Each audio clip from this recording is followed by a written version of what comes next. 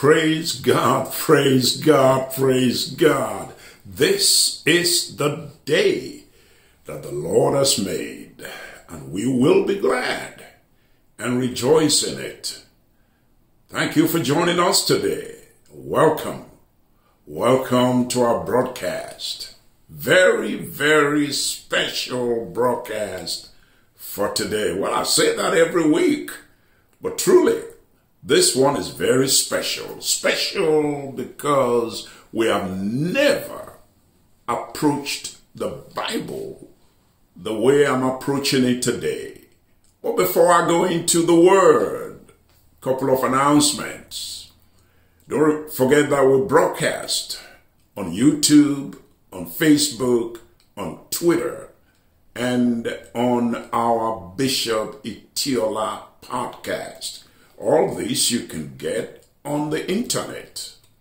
The broadcast is also being aired on RBS TV 13 in the great country of Guyana every Saturday from 5 p.m. to 6 p.m. local time and in 23 Caribbean island countries through Mercy and Truth TV in the great country of Jamaica every Saturday from 2.30 to 3.30 local time. And every Wednesday too at 1.30 a.m. That's our local time. We also like to remind you that we're on Logic 1 TV, channel 112 in the great country of Jamaica, three times a week and also many, many, many times during the week for our prayer broadcast. I pray that God will bless those of you who watch us on these TV stations and those of you who are watching us right now on the internet. May this prove to be a life-changing experience for you today. May God bless those who own those stations and may God bless the employees also. Let us pray. Heavenly Father, we thank you for bringing us to this place today. You've given me a word, but without your help, I cannot deliver the word. So as I ask you all the time, I'm asking you one more time, anoint me to speak and anoint your people to listen. In Jesus' name I pray. Amen. And amen. We continue today our series. Yes, it's a series on how to have a happy, healthy, and successful 2022. You know, one of the best ways to do that is to pay attention to our spiritual lives. And one of the ways to strengthen our spiritual lives is to look at how spiritually successful men and women of God of years gone by lived their lives, studying and learning from the secrets behind their strong spiritual lives will go a long way in helping you and in helping me to be better children of God. Know, Paul the Apostle, he supported such a move when three times in the New Testament he made statements that we will begin with on the broadcast of today. 1 Corinthians chapter 4. I'm reading there in verse number 15. For though ye have 10,000 instructors in Christ, yet have ye not many fathers. For in Christ Jesus I have begotten you through the gospel. Now look at verse 16 now. Wherefore I beseech you, be ye followers of me. And then in 1 Corinthians chapter 11 in verse 1, he repeated the same thing. He said, Wherefore I beseech you, be ye followers of me. Then you go to 1 Corinthians 11, in verse 1, it says, Be ye followers of me, even as I also am of Christ. In other words, I'm running after Christ, run after me. And we will all be running after the Lord Jesus Christ. In Philippians chapter 3, in verse 17, it says, Brethren, be followers together of me, and mark them which walk so, as ye have us as an example. Again and again, Paul admonishes his followers to pattern their lives after his own. When that is done, ladies and gentlemen, we become as strong and as dynamic in the Lord as Paul the Apostle was. My plan for today is to share with you something special, really special, about a respected man that lived in the New York area. Yes, many, many, many years ago, before any one of us on this broadcast was ever born. Yes, New York area. He was actually born in Connecticut and he lived there for many years. And he worked here in New York also for the gospel. And believe me, he left a great mark behind for all believers who are discerning. He could easily have made the calls that Paul the Apostle made. Be ye followers of me. I'm talking about a man named Jonathan Edwards. Have you ever heard that name? Well, if you haven't, get ready for a journey into the truth as we study the biography of this great man of God, Jonathan Edwards. He was born in the year 1703 in Connecticut and he died in the year 1753. He lived a very short life, just 53 years. It's not so much how long you live, but how well you lived your life. And this man surely lived his life for the glory of God and to the benefit of humanity.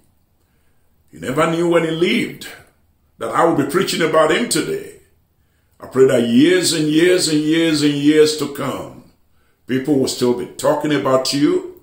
People will still be talking about me. Not for evil, not for bad, but for good. Jonathan Edwards accomplished more than many people that lived longer than he did. He came from a very large family. His father was a pastor. His grandfather was a pastor too. So he had a pastoral heritage. He was one of the most imposing figures in American theology.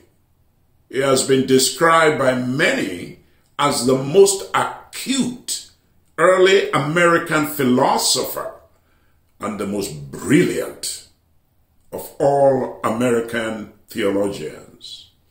Even with such ability and gifting that God gave him, with such depth in theology that God gave him, Jonathan Edwards maintained a central focus on his pastoral responsibility as well as his personal life. Biographers, they rank Jonathan Edwards very, very high with the likes of John Wesley, and other great men of God that walked on this earth. Perhaps the most that most people know about this man was the powerful sermon that he preached, Sinners in the Hands of an Angry God. That the transcript of that sermon is still on the internet till today. Just Google it. Sinners in the Hands of an Angry God powerful, powerful, powerful sermon that Jonathan Edward preached many, many years ago. The sermon had so much conviction inside it that sinners in the auditorium, when he was preaching it, felt like they were literally in the hands of an angry God. and that they were falling into hell right there and then. Powerful sermon. Some convicting truth. So convicting was that sermon that people ran and held on to the pillars of the building. Yeah. Fearing that they were literally falling into hell as the sermon proceeded. Without a doubt, so many of them committed themselves to the Lord Jesus Christ. That man was a man whose lifestyle was great and whose lifestyle on our broadcast today is worth studying and is worth patterning our lives after. That is the beauty of character study. I love character study. We have never done it on this broadcast. This is the first time we're looking at the biography of Jonathan Edwards. Of course, you know the Bible is our primary source of biographical stories. Who can forget the lives of Adam and Eve?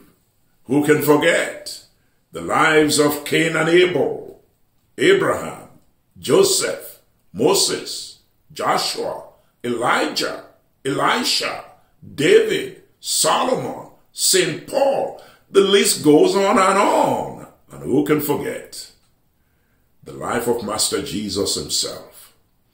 So whether it's about Bible characters or characters who lived after the completion of the Bible accounts, there are many, many, many advantages of studying the biographies of saints gone by. Let me share with you some of the many advantages of doing a study, of doing a sermon on the biographies of those who are gone. Number one, biographies teach us real and practical life lessons. You know, basically, in reading a biography, you get to learn about what an individual has been through. Consequently, you can relate with those individuals. But there's another reason. Biographies, they tell and they show us how to deal with certain situations in life, especially when we look at how they dealt with similar situations during their lifetime. Biographical studies also, they give us motivation, continuous motivation to be all we can be in God. In addition to that, you get to hear other people's stories. The inspiration from their stories turn them into our mentors and our role models. But they also allow you to stand on the shoulders of giants and see far into the future. And that's what we're going to do today. Stand on the shoulders of Jonathan Edwards, the man who once lived in this great city called New York and also in the state of Connecticut. He was a giant. And on his shoulder, we're going to stand today and say how we can be better. Biographies. They remind you that history repeats itself. Yes. George Santayana wrote in 1905, those who cannot remember the past are condemned to repeat it. Reading about the real experiences of others, they give us context for the decisions and the consequences of the decisions that we all make when we do certain things. Another reason why biographies are so good is to promote self-discovery.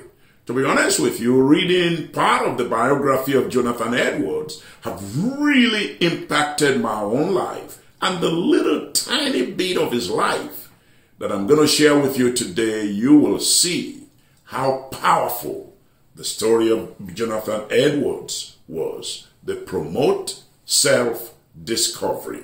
And they also allow you to see the world in new ways. They allow you to see the Christian life and how to live it in new ways. And I think things have been so modernized and have been so messed up you will think there are no better ways to live for God. Well, when you look at the life of this man that we're examining today, believe it's going to challenge you. You know, the good thing about biographies also is that they give you mentors at a distance. You know, many people will say, I want you to be my mentor. I will come to your house every Thursday or come to your office every Wednesday. Well, these are mentors at a distance. And uh, they are a blessing, people. Biographies.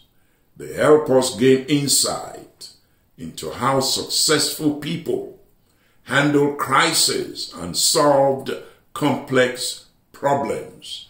They invite us into the lives of these people who we are studying. They allow us to observe these people and see how they grappled with the challenges of life and how they made important decisions. And that will help you. And that will help me also to know how to make decisions in life. In some instances, biographies can stand as a warning. Yes, helping us to know the pitfalls that we should avoid. They open our eyes to the world, allowing us to walk a mile in someone else's shoes. This ultimately leads to greater understanding and better decision making. I hope what you hear today will help you make better decisions to be better Christians. But last but not the least, biographies, ah, they benefit us because you come across the thinking process of the person that you are reading and studying about. You will know the mistakes they made in their lives, and then you will plot a path to avoid making the same mistakes. I admonish you to find great people that are alive or dead. Read about them and see what you can learn about their successes and also about their failures. That is exactly what our biographical sermon for today is about the great man of God called Jonathan Edwards. I have titled this sermon, The Resolutions of Jonathan Edwards. Yes, the resolutions of Jonathan Edwards. But I have a problem. The only problem I have is that it is absolutely impossible to focus on all the aspects of the life of Jonathan Edwards in a one hour sermon. So what I've done is this.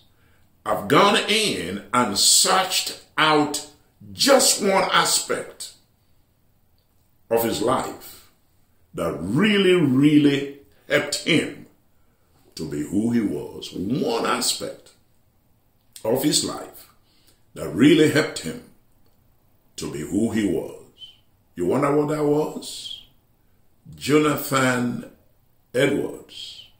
Over the course of his life, he wrote down seven zero, 70 principles that he lived by.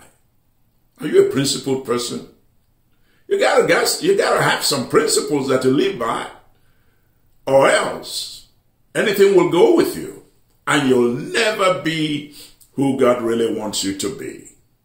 These 70 principles that he lived by were resolutions that he made at one time or another during the course of his life, and he faithfully held on to them, and they helped him become the giant that he became in the Lord.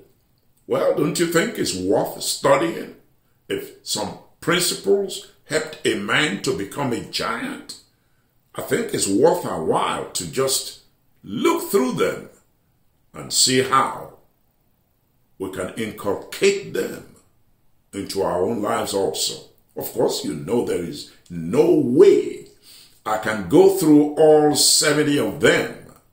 So what I have done is to extract eight out of the 70 for the purpose of this admonition. So whether you are a preacher like Jonathan Edwards was, or you're just a regular Christian, what I share with you today, ladies and gentlemen, about this man will surely help you as you go on in your journey into 2022. Are you ready? Come with me as I share with you the principles that this man lived by. He wrote them all down, and he began each and every one of them with the word resolved, resolved, resolved. Here is number one, not necessarily in the order in which he wrote it down. I just extracted the eight that I could have enough time to share with you today. Number one, resolved never to do anything which I should despise or think meanly of in another. Wow. I read that and I said, wow. Want me to read it to you again?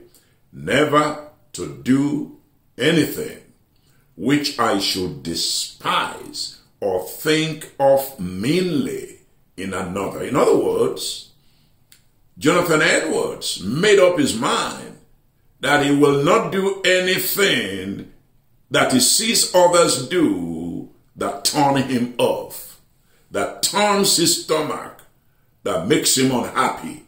That was the principle that King David failed woefully. You remember King David, all he did to Bathsheba, and all he did to the husband of Bathsheba, and then the prophet came along and just told him a little parable. Let me read the story to you. And the parable turned the stomach of David, and he did not know the king, the, the prophet was actually talking about him. So what he saw in that parable made him very, very unhappy. And, and the prophet said, well, if you feel so bad about this, why don't you feel so bad about what you did? And that's what Jonathan Edwards is telling us. He resolved never to do anything that he will despise if he sees it in other people. In other words, if you don't want to see other people do it, if you will feel unhappy if other people do it, Jonathan Edwards said, I'm not going to be part of it. Second Samuel chapter 12.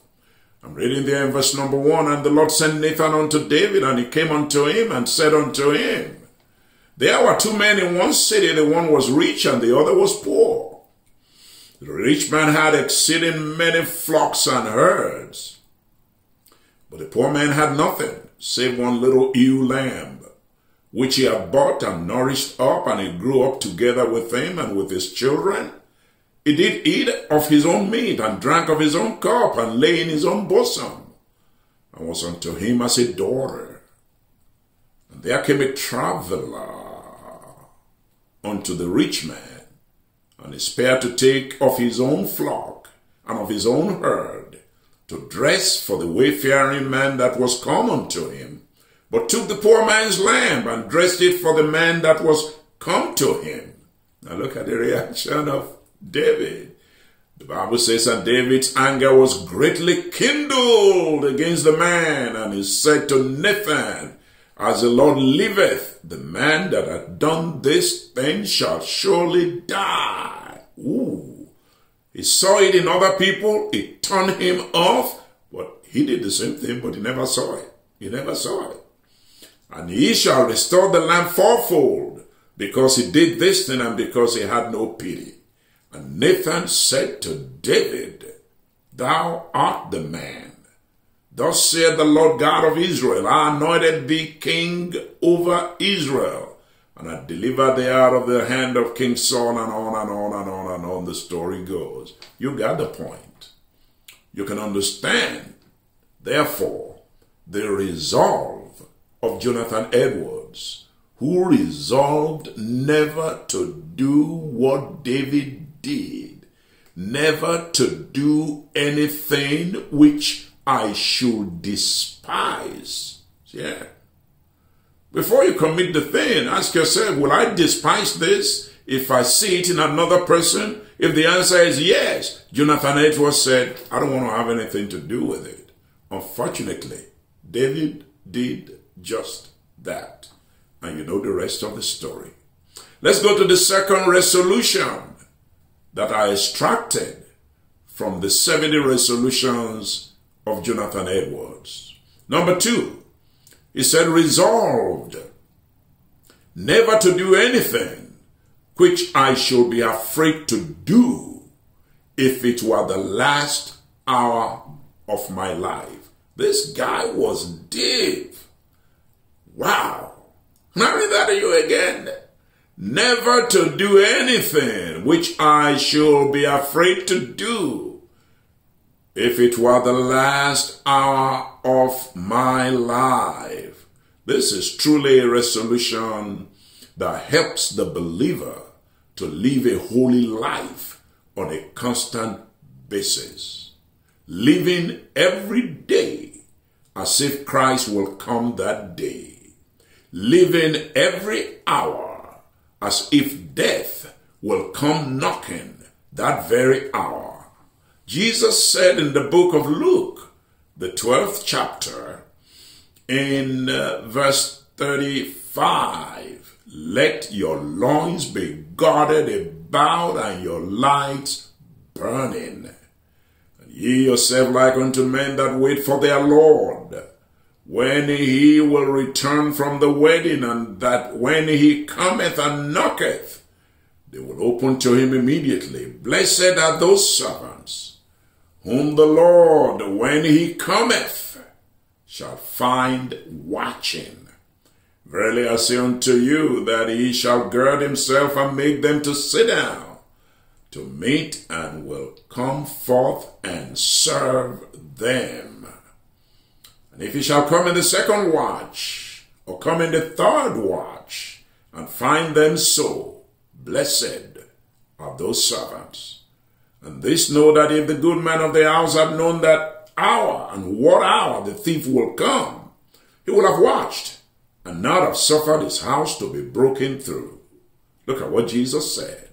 Be ye therefore ready, for the Son of Man cometh at an hour when ye think not, and death also can come at an hour when ye think not. Don't you think we should live by this principle in 2022? Never to do anything which we should be afraid to do if it were our last hour in this life. Let me move to another spiritual resolution of Jonathan Edwards. That's number three of the eight resolutions I have with me here. Number three, resolved never to speak evil of anyone so that he shall tend to his dishonor more or less upon no account except for some real good. That's a good question. How many of you have been spoken evil of? I guess everyone that is watching me and hearing me can say yes to that. Uh, evil has been spoken concern. It's, it's the normal evil in the world. Don't join them. Jonathan Edwards said, I'm not going to be part of that foolishness. I think the Bible is really very clear. Very, very clear. And I've preached extensively on this verse on this broadcast in the past. So I'm not going to talk more much on this. Here are a couple of scriptures though that are connected with evil speaking.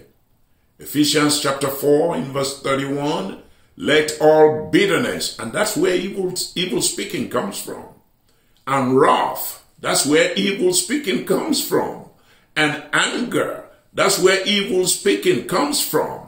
And clamor, That's where evil speaking comes from. Where you see bitterness, you are likely to see evil speaking. Where you see wrath and anger, you are likely to see evil speaking. It says, let all bitterness and wrath and anger and clamor and evil speaking be put away from you, including malice. Get rid of them.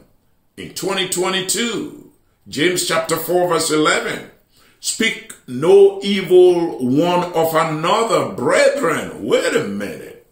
That means it's not only the people who are politicians that speak evil of one another, even brethren saved can speak evil of one another and judgeth his brother. He that speaketh evil of his brother and judgeth his brother speaketh evil of the law and judgeth the law. But if thou judge the law, thou art not a doer of the law, but a judge. Let's get it, people.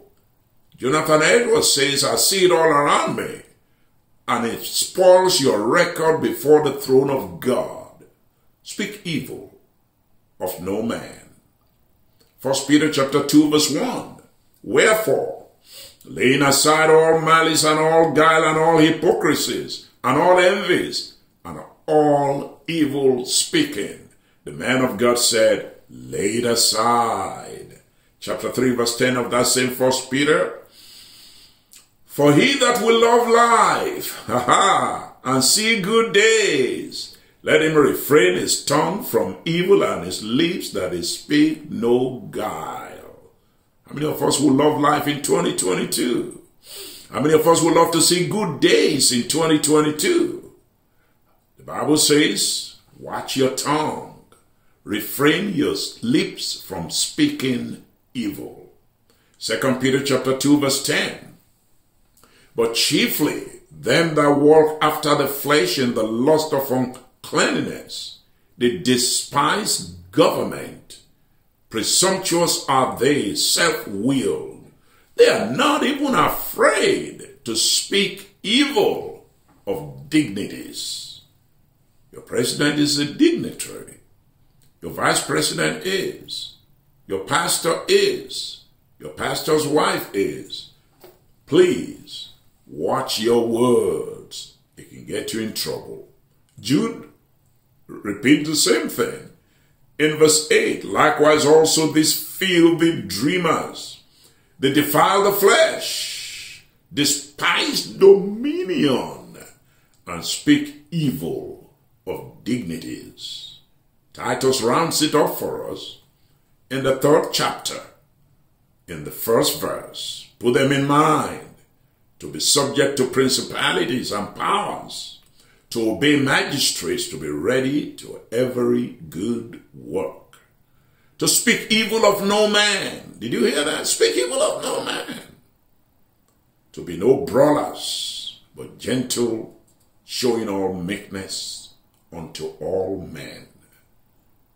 Oh, I'm glad God led us to this point to study the life of Jonathan Edwards, a man who said, I don't get involved in it. If an evil speaker comes knocking on my door, I'll get out through the back door. Why don't you make up your mind this year? Even if those people are evil, leave it to God. All right? If they did something wrong, and you have malice towards them, and you're angry, and you are bitter, just, just quit. And don't start talking because you can get in trouble for the misuse of your words. Resolution number four. Jonathan Edwards said, I resolved frequently to renew the dedication of myself to God. Yeah. When I read this, I just said, wow. These people really were deep. He said, I resolve to frequently, in other words, from time to time, renew the dedication of myself to God Almighty. That is a powerful, powerful principle to live by indeed. To frequently renew our individual dedication to God should be our pursuit in 2022. Just like husbands and wives tell each other, I love you, I love you, I love you, I love you. Over and over again. You know, I've even seen couples that renew their marriage vows in their churches from time to time. They just put on their wedding dress all over again, have their children with them, and go before the altar. Say, what are you doing here? We just want to renew our vows. That's what Jonathan Edwards said.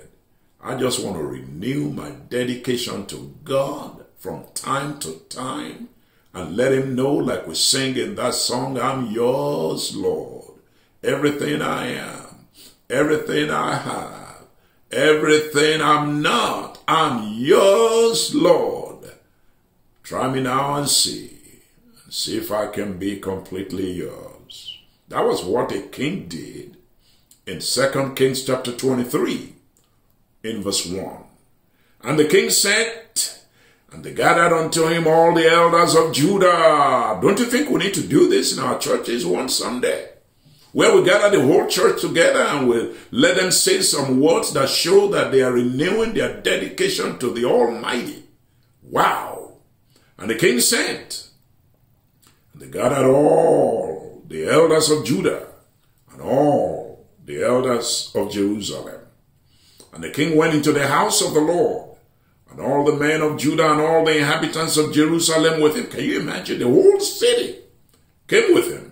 And the priests and the prophet, oh wow, and all the people. Did you hear that? The priests, the prophets, the pastors, the evangelists, and uh, whatever your title is, and the people of God, both small and great, and the head of their ears, all the words.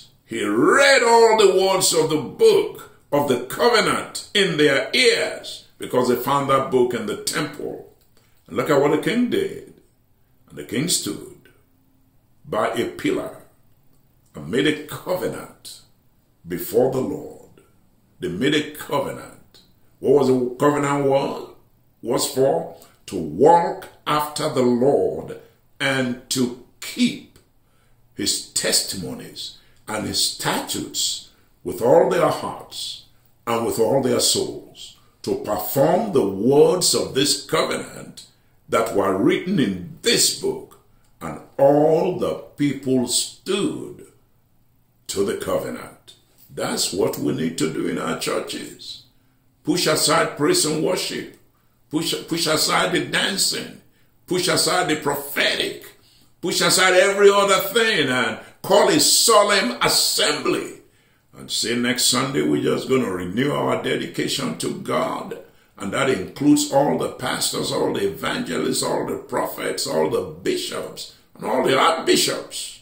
We all come before God, may be declared as a day of fasting and praying, and renew our consecration and renew our dedication to God, and get up and run on for the Lord. Let's join them. Let's join the likes of John Edwards Let's join the likes of Josiah and the children of Israel, resolving to frequently renew the dedication of ourselves to God. Number five, here was the fifth resolution of Jonathan Edwards. And I, am telling you, this is not just something he made one January or one February. These were 70 resolutions he made uh, over time when he lived in the New York area. Number five, I resolved to study the scriptures so steadily, so constantly, and so frequently as that I may find and plainly perceive myself to grow in the knowledge of the same. I feel like reading that again. Don't you feel like hearing that again? I resolve to study the scriptures so steadily, constantly, and frequently, so that I may find and plainly perceive myself to grow in the knowledge of the same. There are two points here I must bring out. Number one, is one thing to resolve to read, is another thing to resolve to study. I think we do more reading than studying. But God wants us to do reading and He wants us to do studying also. The other point here are the key words of this resolution. It has to do with studying the scriptures. He said, I want to study the scriptures steadily. I want to study the scriptures constantly. I want to study the scriptures frequently. Those three words say the same thing. Don't go on a French leave from the Word of God. Let it be known that you study the Word of God on a constant basis. Look at what some people said about studying the Bible. D.L. Moody. He said, merely reading the Bible is no use at all without studying it thoroughly. Hunt it through as it was some great truth. And that's what it is. D.L. Moody also said, I never saw a useful Christian who was not a student of the Bible. These people can talk. Another man said the Bible is the greatest of all books. To study it is the noblest of all pursuits. To understand it is the highest of all goals in life. Beautiful.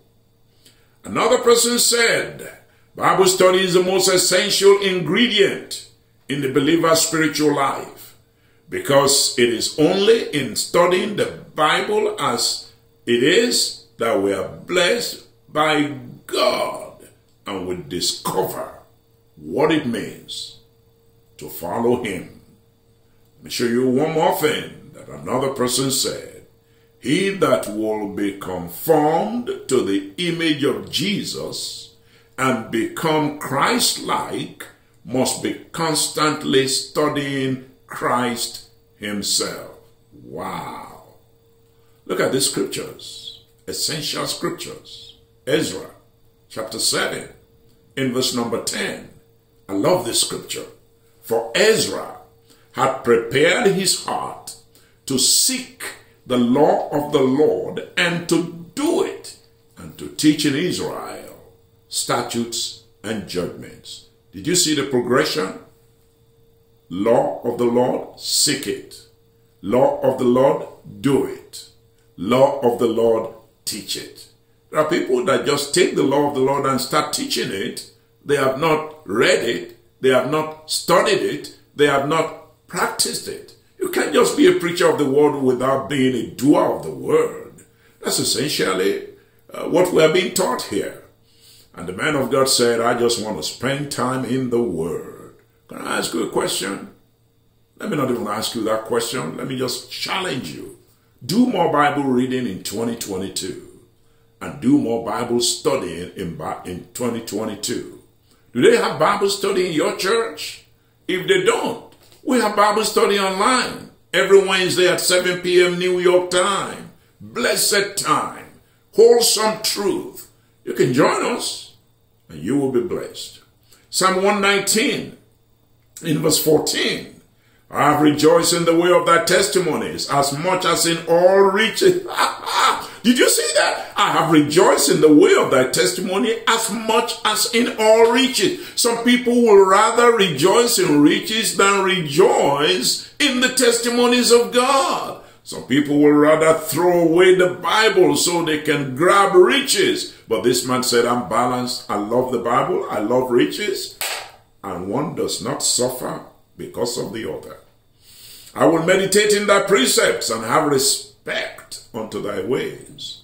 I will delight myself in thy statutes, and I will not forget thy Lord, and thy word rather. J- Joshua, beautiful scripture. I'm sure you know it as much as I do. This book of the law shall not depart out of thy mouth, but thou shalt meditate therein day and night, that thou mayest observe to do according to all that is written therein. For then thou shalt make thy way prosperous, and then thou shalt have good success. You want to have good success in 2022?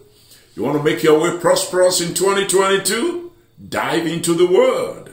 Read the Word. Practice the Word. Success is in there for you.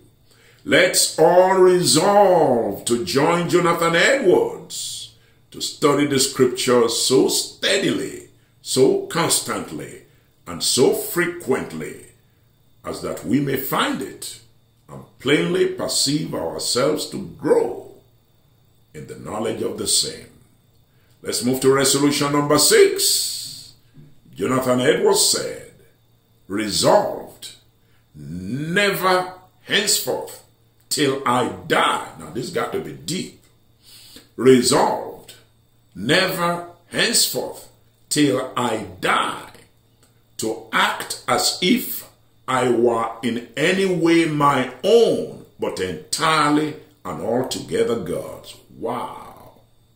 Powerful, very powerful principle that is worth living by. It ties in with the admonition of Paul the Apostle in 1 Corinthians chapter 6. What?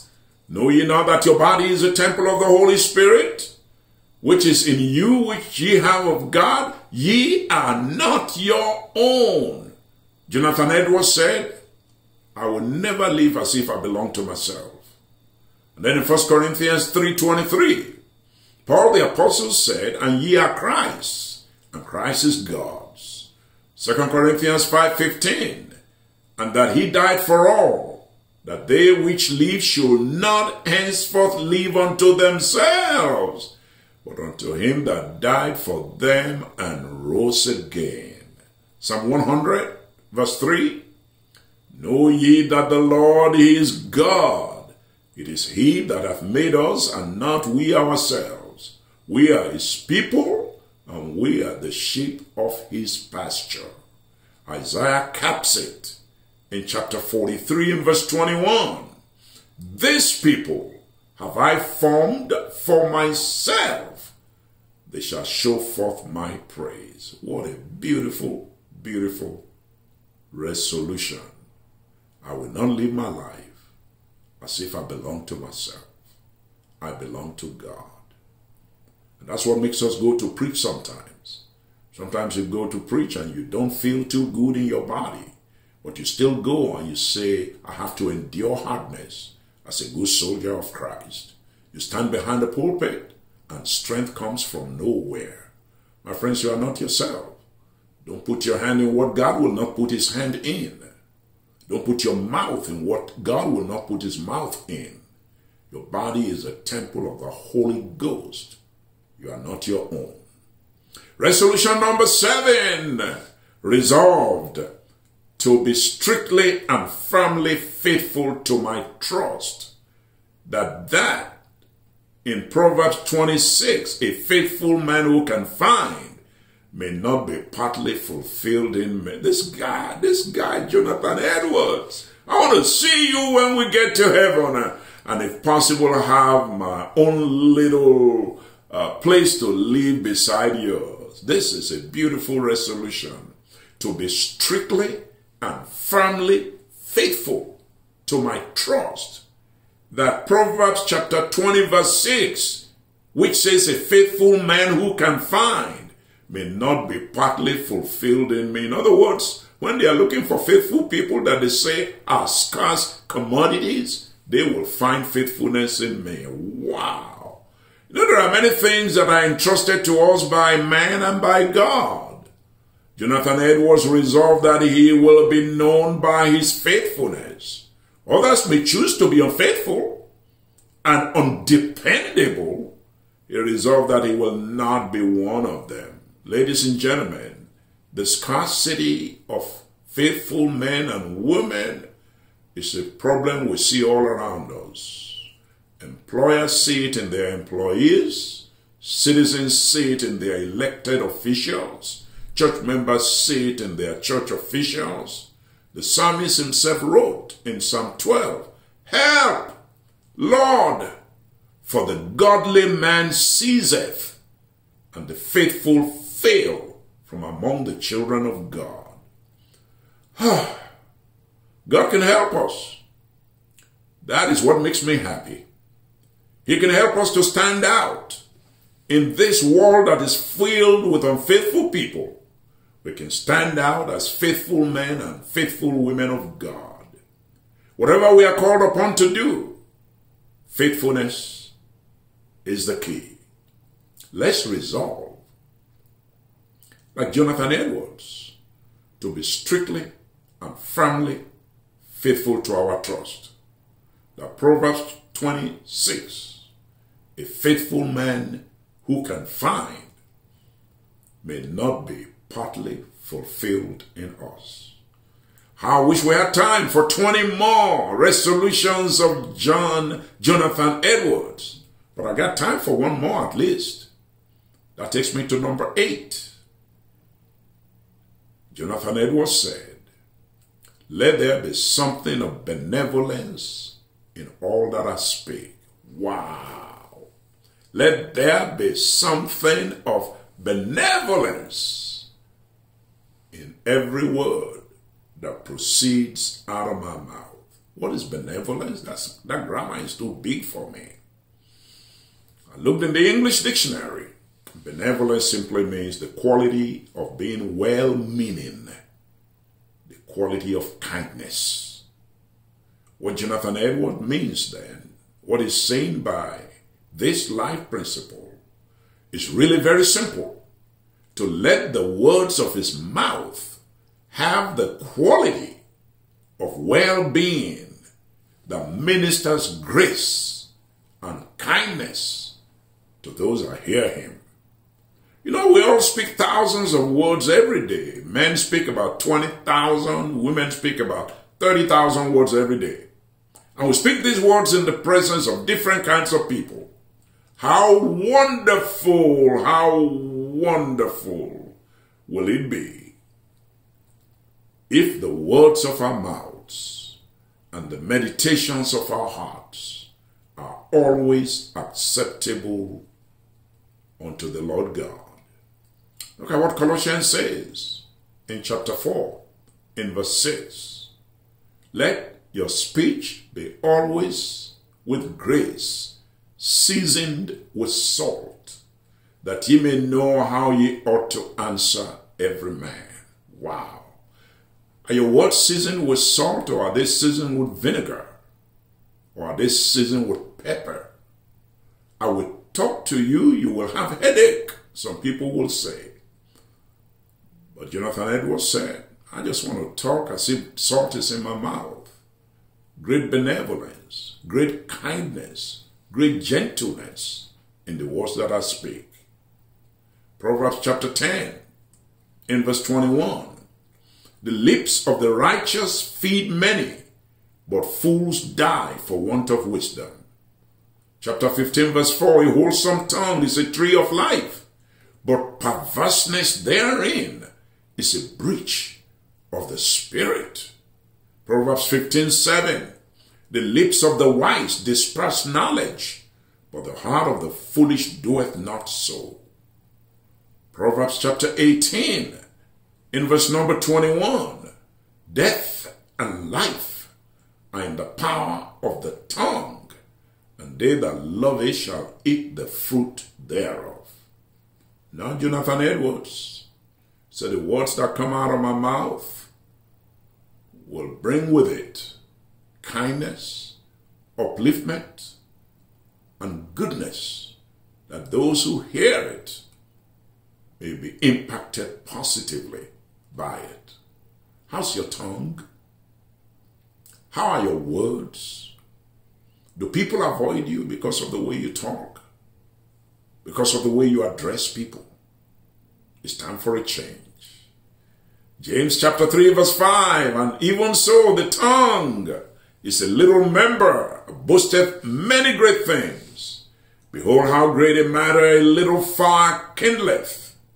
And then he says, the tongue is a fire, a world of iniquity.